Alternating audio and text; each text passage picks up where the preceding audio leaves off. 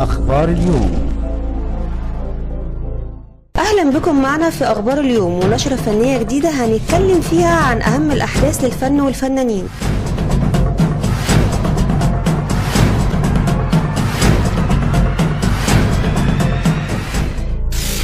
كيم كارديشيان تستقبل ثاني مولود لها.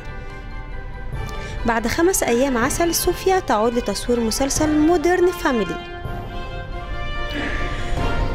سرقة banners دعائي لعمرو دياب على كوبري 6 أكتوبر. الرقابة على المصنفات الفنية تجيز عرض حرام الجسد دون حذف.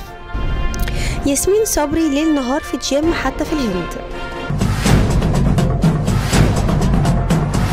نشر موقع جريدة ديلي ميل البريطانية صورا للمستشفى التي وضعت فيها نجمة التلفزيون الواقع كيم كارديشيان مولودها الثاني حيث قضت كيم ليلة أمس في جناح في مستشفى لوس أنجلوس. ووجهت كيم وزوجها كيني ويست من خلال موقعها الرسمي رسالة إلى محبوبها كتبت فيها كيم وكيني يرحبان بالمولود الصبي الجديد والأم والطفل في حالة جيدة. بعد خمس أيام عسل فقط عادت النجمة العالمية صوفيا لتصوير مشاهد في مسلسل التلفزيوني حيث قضت النجمة خمس أيام شهر عسل برفقة زوجها في جزيرة توركس على شاطئ البحر الأحمر. بوستر الإعلان الدعائي الكبير star عمرو دياب المتواجد على الكوبري.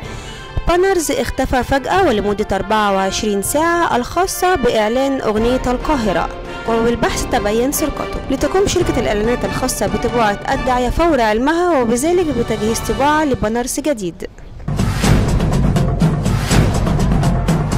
صرح المنتج جابي خوري بأن فيلمه الجديد حرام الجسد حصل على موافقة الرقابة لعرضه بدور العرض السينمائي وأكد أنه لم يكن هناك أي ملاحظات على الفيلم. تحاول الفنانة الشابة ياسمين صبري أن تظل أكثر وقتا ممكنا في الجيم فهي تعشق ممارسة الرياضة من أجل الحصول على قوام مثالي وممشوق حتى أثناء انشغالها بتصوير أعمالها.